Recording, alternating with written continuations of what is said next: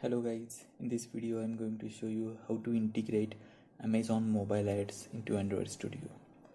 So just search Amazon mobile ads and click on the first link and select the download SDK codes and samples.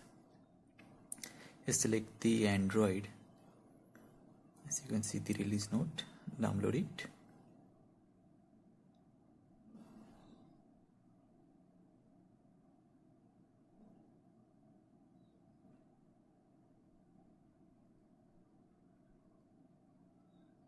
okay now extract it. Here I'm extracting desktop. Okay so just open it. Uh, select the Amazon mobile ads and click on the examples configuration. Here you can see these ads format. Now we can we are setting up the banner ads. So let me just open the Android Studio and select the project here I'm selecting the simple ads as simple ads are for the banners. Okay. Just open it. New window.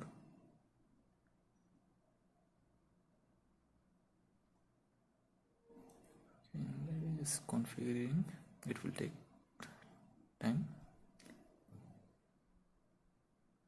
Okay I'm getting error for the jar file. Let me just remove it and add once again here you can see amazon ads version and dot jar just add as a library. Select the app. Okay. Now it is configured rightly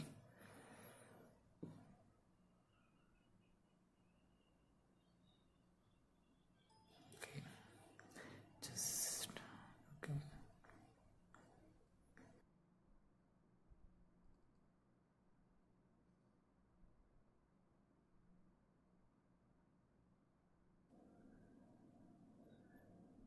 okay it is perfect. Now open the java file. Here we have to replace the app key. You can find the app key from your amazon developer app dashboard. I'm pasting my key here. It is unique key for every app. I'm not going to show you my key. Okay so let me just run this program. Okay run app okay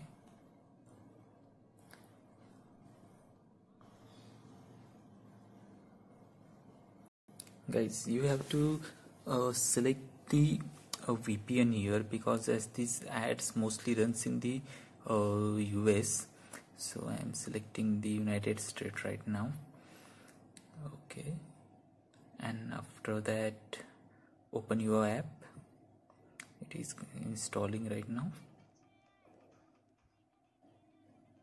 So actually uh, fill rates in India is very low for Amazon uh, but in uh, other countries like Europe Japan and US there are uh, most of the rates. Let me just click the load ads.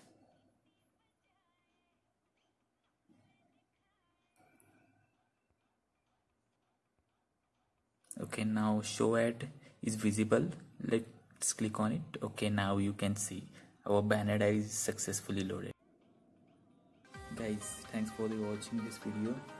If you have any questions or problems let me just know in comments. And don't forget to subscribe